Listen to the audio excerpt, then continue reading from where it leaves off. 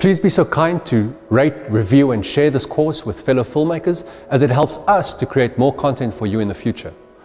I really hope that this video has been helpful and I wish you all the best in your filmmaking journey.